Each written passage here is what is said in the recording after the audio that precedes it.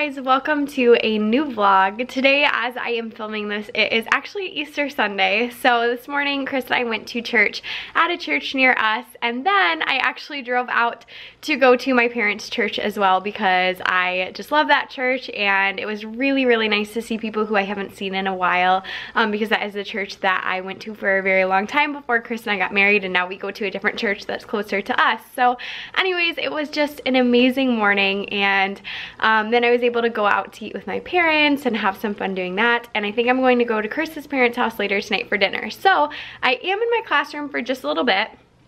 Now I've said a million times, I really enjoy going in on the weekends. I feel like I get a lot done and it just helps my week run so much more smoothly than uh, those weekends that I don't go in. So I do really enjoy doing that.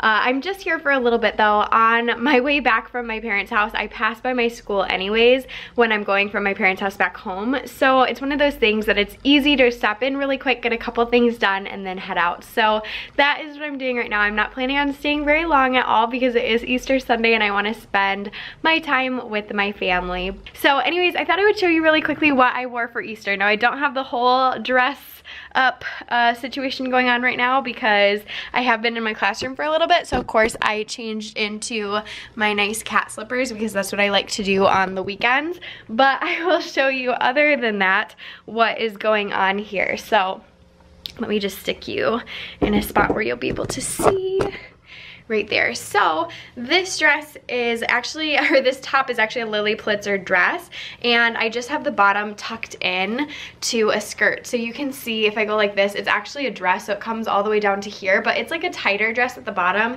and I wanted something more flowy so I just put a skirt on over it and I actually really like how that turned out. This print is called the Multi Lulu and I love this print. I actually own an Elsa top in this print as well and I really, really enjoy it. This also isn't super heavy which I like, so it was perfect for today. And I got a ton of compliments on this ensemble. My little skirt is from JCPenney, and then I was wearing some heels. I don't know where I kicked them off to, but I was wearing some heels that were from Payless actually. And I was wearing a necklace too, but I took that off. So anyways, that was my little spring Easter outfit for this year. And yeah, I did not wear the slippers to church, but here they are now, really just living their best lives and yeah that's it. So anyways i'm gonna try to get some more work done so i can scoot out of here but i will see you guys when i see you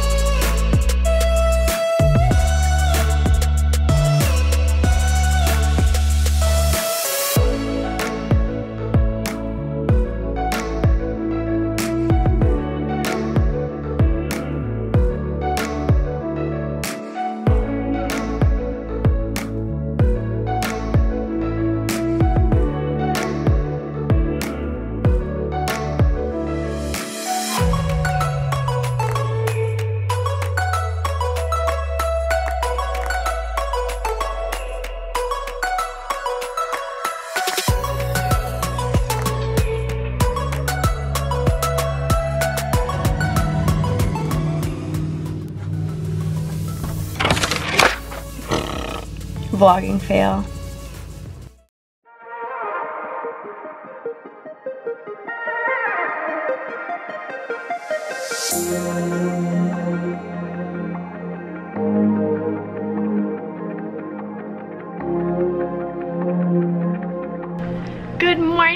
Friends, or afternoon, or evening, whenever you are watching this. Right now, it is Monday morning. It is 7.20, almost, and I got to school around 7. I actually went to the gym this morning, though, before work, which felt pretty good about. It was super, super busy though, so that is why I did not vlog at all while I was there. Um, I did film like a super quick clip of me like getting ready in the little locker room, but I was scared somebody was gonna walk in, so didn't want really want to be like that girl who was filming in the locker room, you know what I mean? But anyways, um, that was how I started my morning and today I am just feeling like refreshed and it's going to be a great day. I had one of my green smoothies for breakfast, but I will say I then got to school and ate two Reese's eggs. It's all about balance though, you know, like it's fine. So anyways, I do have a couple things I still need to do this morning but mostly I'm just having like a relaxing morning. I'm watching Brittany's videos right now, which she is five foot one teacher. I'm sure you guys all know who she is already, but if by chance you don't, go check out her channel. She is such a light and she actually inspired me to get this shirt because she always dresses so cute and she wears like bright yellow all the time. And I'm like, oh my gosh, it's so cute on her. And so I got this shirt because I was feeling inspired by Brittany. So thanks Brittany, you're probably not watching this, but love the shirt so cute so anyways i'm gonna go do what i need to do and then i will check in with you guys at some point I thought I would quickly show you guys my outfit in this little mirror back here. Um, so this shirt, I don't know what the actual brand is, but I actually just got it off of Poshmark. I love Poshmark not sponsored, but I just love them. I seriously buy like all my clothes off of Poshmark and I just thought this was super, super cute. So I literally just searched like yellow tunic, I think, and this came up and I just thought it was so stinking cute. And then I'm wearing my favorite pair of black leggings. These are from Aerie and these are seriously my favorite, favorite, favorite leggings. Some of you may remember on my Instagram over the summer, I posted a question that was like, what are the best black leggings ever? And a bunch of people responded and I bought like six different pairs of black leggings, um, including like Lululemon and some more expensive brands like Zella and stuff like that. And these ones are by far my favorite. They're like super high waisted. You can see they come up like way up there and they're just so, so, so comfortable. So Aerie for the win. These are just seriously the best leggings ever. It's like I'm not even wearing anything. They're so comfy. And then my shoes are my new Sam Edelman ones. I found these at TJ TJ Maxx and I was so excited because I've seriously been wanting these for forever. I believe these are called the Loraine um, flats or loafers, I think, and I just think they're so stinking cute. They are seriously so comfortable, and I have wider feet. Even though my feet are super small, I wear like a five and a half, six. Um, my feet are like just a little bit wider, and so a lot of times flats are not very comfortable on me, um, but these are super comfy. I wore them on Friday too, and I just have my little liners on too that I also get at TJ Maxx. And then I have my Fitbit, which is breaking, and it's really sad. I've literally gone through guys, I'm not kidding, probably five Fitbits at this point, and like this one's breaking on this side right here. It's kind of hard to see. Maybe you can see like that. And then it's not like holding a charge very well, so kind of annoying.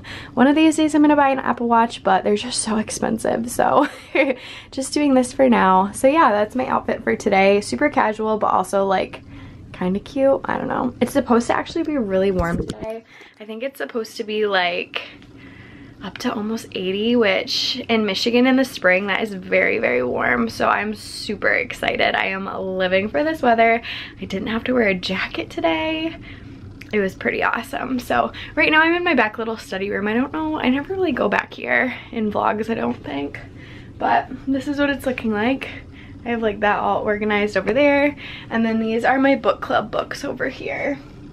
So some really popular ones that the kids have enjoyed a lot that I've had them read in book clubs have been Wish. This is a personal favorite of mine. If you haven't read this book, it is phenomenal. So that has been a favorite. My kids also really enjoyed, um, my kids love these books. This is Max's story. This is one of the Dog's Purpose Puppy Tale books. And um, this is the only one I have as a book club book, but I do have some of the other ones just like in my classroom library. That one was really, really popular. I'm trying to think what else is, has been really popular that the kids have really enjoyed. Oh, Crenshaw has been a really popular book as well. This is one of my all-time favorites. Katherine Applegate is actually probably my favorite children's author. Um, I love Wish Tree and Home of the Brave and Crenshaw is also very, very good. So yeah, those are my book club books. And then these are just kind of an overflow of books that didn't fit in my library or maybe were a little bit too mature for my library. Like just one of them in there is a little bit little, little, little bit too mature for my kids right now. But yeah, just living my best life this morning. I am seriously so awake this morning and energized. I'm just excited to see my kids, but it'll be like an hour until I see like the first student in the building because they can't even come in until 8.30, so have a while to wait. But anyways this side is my side. I don't know if i i feel like i've talked about this before right? Like this side is my side and then my grade level partner has this side and she's super organized which is really really nice. So yes we just share this space and then we have the big table in the middle for kids to come back and work at. Um, sometimes they'll get pulled by like the specialists in here or not the specialists but yeah, specialist, I don't know if that's the right word, like the reading specialist and stuff like that, or um, different like ed assistants or whatever. Um, oh, also my graffiti wall is really coming together over here. I just have to show you guys like my kids, what they come up with is kind of amazing. Um, so let me see if I can find any specific ones that are standing out to me don't really know what this is. As a child, we crave to be treated like a big kid. At the end of adolescence, we want the respectful respect of adulthood. But both of these transitions guide the shouldering of responsibility and the desire to reaching for their than we can earth and become, or can reach maybe, and become more than we were yesterday. So I know who wrote that and that's a little buddy that, yeah, that's pretty good. So pretty cool what my kids have come up with. This one too from Ghost.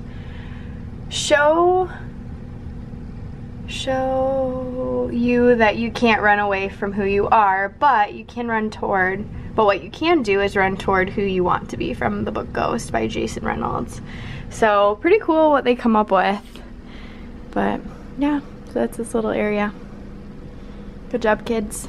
So every other week we do progress monitoring for DIBELS and these are any of the kids who are um, either like right at grade level or like it's more like a little bit below grade level I guess in any of the areas of DIBELS. And so this is what their DIBELS little progress monitoring book looks like. And so what they do is we open up to the story for this progress monitoring. So for this one I think we're on 14 actually. Yes so this is progress monitoring number 14 and so it looks like this. It's just like a little passage and it has the word count on the side. So this is the teacher book and then the kids read from like an actual, not like book, but like a little spiral bound type thing that looks like this. That's upside down, but you get the gist and so they have one minute to read as much as they can and then you mark the errors on here. Now this is something I was not really exposed to at all when I was in college so if you are an ed student right now I would highly highly recommend if you are in a placement or you're doing um, some volunteering or whatever in a classroom and you see a teacher doing progress monitoring whether it's in DIBELS or running records or whatever it might be actually sit alongside that teacher and try to ask questions and learn from them.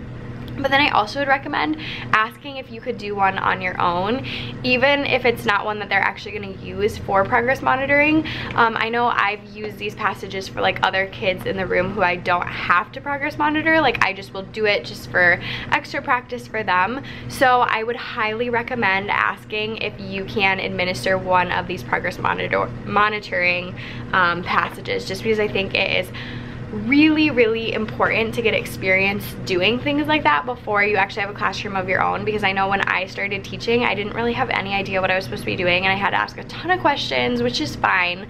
Um, but it was just one of those things that I did have a learning curve at the beginning of the year, so I would have loved to have had that experience in college. But anyways, basically they read the passage, you mark the errors on yours, and then you put a bracket around where they end, and then at the top you put the total words that they got like two. So let's say they got all the way down to this word and right here. Well, that's at 101, so I'd write 101 here. But then on the next line, you write errors, including skipped words. So if they skip an entire line, that's like the worst thing because you have to cross out the whole line and count every single word as an error, which stinks hate when that happens and I have one of my students who does it so often and I'm like no. It seriously just drives me bonkers because I'm like I hate marking those all as errors.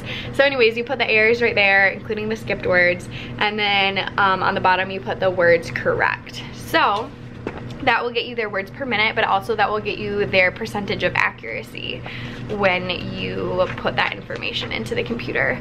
And then they do a one minute retell as well. And so you are listening to see how many words they can um, retell. And what I do is every time they tell me one detail, I put like a line. So for example, I'd be like moving my pencil as they're saying the word. So they might say, the title of this passage was Wonderful Water, okay? And then when I get to that point, I would put a slash like up and down so I can tell that that's one detail because that makes it a lot easier when we get to the end for me to remember how many details they had because we have to score them based on how many details they had. So a one is provides two or fewer details, a two is provides three or more, Three provides three or more details in a meaningful sequence, and then a four has to do all of those things but also have the main idea. So what I do with my students to practice doing really good retells is I do a five plus detail retell is what I call it. And so I have this little like folding chart right here, this little pocket chart. This was gifted to me from my Amazon wish list, so thank you so, so much to the wonderful viewer who sent this over to me. She actually sent two of them, and I have one at the front of the room as well, but this one seriously gets used every single day, multiple times a day. I love it. So in the retail, they always either have to give me, this is just like what I say as a teacher because it makes them get to as many details as they need to get a four. So they have to tell me either the title of the text or they have to tell me the author's purpose those are usually an easier point because if you can remember the title of the text, that's an easy just like it's explicitly stated you can just retell what it is. Or the author's purpose is pretty easy because there's only a few different options so we practice that a lot and most of the kids are really really good at it. Then they do have to tell me the main idea because to get that four they have to tell me what the main idea is. So they'll say the main idea of this text was and then they'll tell me what they think it is then they have to give me three details in order. So first this happened, we work a lot on sequence words. So first this happened, then this happened, last this happened, whatever. And they don't have to use like those specific sequence words, but they have to use some sequence words. So that is my five plus detail retell. And they actually count on their fingers how many details they have as they're retelling me as much as they can in that one minute so they know when they get to that five. But I always say if you get to five and you don't have the main idea, you're not done yet. So you gotta give me the main idea because you can't get a four on DIBELS without giving the main idea. So ever since I made this chart, I have noticed a huge, huge difference. We've always talked about the five detail retell, but the fact that I actually have it up by me now and I like carry it around the room with me, the kids really benefit from that visual. So I would highly recommend making something like that just to kind of prompt your kids kids and give them sentence starters. Even in fourth grade, it is super, super helpful. So, little insider tip for you. But like I said, if you're an ed student, I know a ton of people who watch me are in different education programs and whatnot. Um, like I said, if you can progress monitor, try to do it because it is an invaluable experience, I think. So definitely ask your mentor teacher if that's something that you can do. I know I have two students right now who are in my classroom from another like local university, not the one I went to, but another local school. And I have them progress monitoring like every single day that they're in here because I think it's so important and it helps me get some different data too. So anyways, I feel like that was a uh, mouthful. So I am going to go make my copies for the morning. Um, actually, it's not really anything I need for today, but I'm gonna go make some copies regardless. And I need to go write my learning goals on the board, and that's about it. I'm just kind of hanging out. It's like 7.40 right now. And like I said, the kids don't get here till 8.30, but I love just having like a relaxing morning where I can just take my sweet time doing what I need to do and yeah, I love it. So anyways, I will try to check in with you guys at some point today. Hey there guys, so it is after school now and I actually left school at like a normal time. I left at like 4.30ish, which is pretty early for me. That's actually really early for me. So now I'm home and it's like right after 4.45 and I'm already changed into a comfy shirt and I'm actually gonna go for a bike ride and I'm really excited because I love riding my bike. So I'm gonna go. Chris and I have been going like every single weekend, but I usually don't take it out on my own. I, I don't know why, I just don't really. So I'm gonna go on my solo bike ride today because I don't feel like waiting for him to get home from work.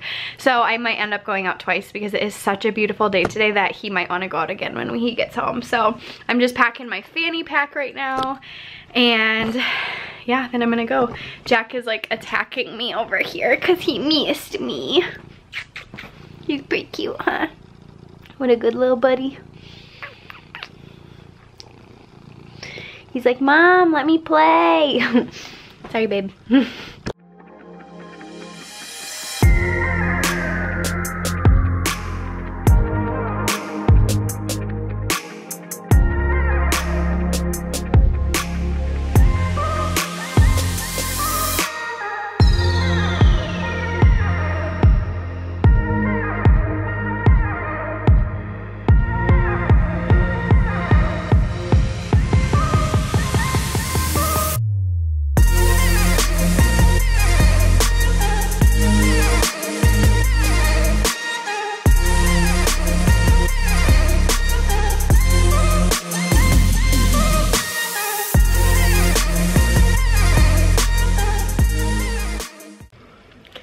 there guys, so it is just past 9 o'clock right now and I am winding down and about to go get ready for bed.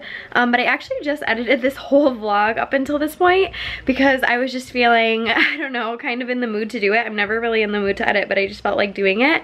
Um, and anyways, I was like, wait a second, this is already like 20 minutes long. I could totally just upload it as is. So I think I'm going to just do that.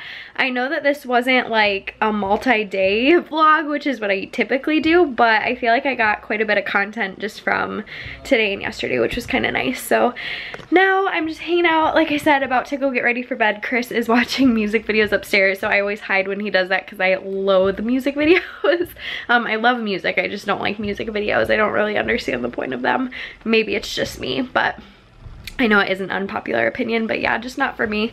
So anyways, yeah, that's life. I've just been watching YouTube videos down here and doing some lesson planning and I was trying to figure out what I was gonna title this video and I think I'm gonna title it Day in the Life of a First Year Teacher, but I know that this didn't go through like my entire day. So if you guys want to see a video where I actually do like start to finish, like here's my breakfast, here's my day and my lunch and all of that stuff, like if you would like to see that on this channel, definitely let me know and that's something that I can do. But if you're like, nah Kim, we'd rather just see more like teaching stuff or whatever, then that's a-okay too. I really don't care either way. So anyways, thank you so much for watching. Remember that you are incredibly beautiful and so, so, so loved.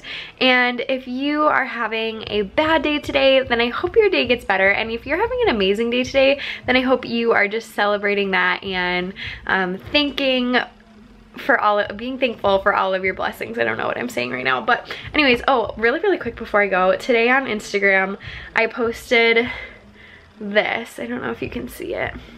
But basically I was like, what awesome happened today? Or what was the best thing that happened to you today? Can you see that? It's too bright. There you go. What was your favorite part about today? And then I posted my little picture at the beach. And that was so neat. I don't know what really inspired me to do that. I just wanted to post that picture and I was like, huh, what should I put on here? And then, I don't know, I thought of that and I got so many responses of people just saying like all the cool things that happened to them today. And it seriously just like, made my night. Just like sharing my good day with everybody else and hearing about everybody else's good days or like the best part of their days, even if it wasn't like a good day overall, like whatever cool happened to them today. And so many people responded. So I don't know, I almost want to make that like a regular thing. I want to do that more because that seriously just like filled me with so much joy because some people are celebrating like interview say hold on let me like pull some of them up because they were like really cool. You guys are super awesome. So let me see. So we had somebody who had a super awesome PD, somebody who went on a walk with her son, Somebody saw a poodle in a top knot, which is very exciting. Um, another person went to the library with her kids um, an assembly, interviews, interviews. One person met her CT for next fall, and then another person found a new Bible study. So some really, really neat things. Um, and those are just some of them, some of the first ones that I see as I'm opening it up. But definitely some really cool things that were just, I don't know, kind of filled my bucket to have them shared with me. So anyways, I hope your day is super awesome. And I hope even if it's not super awesome, maybe you can find something super awesome within a not so awesome day, if that makes sense. I will see you guys next time. Bye guys.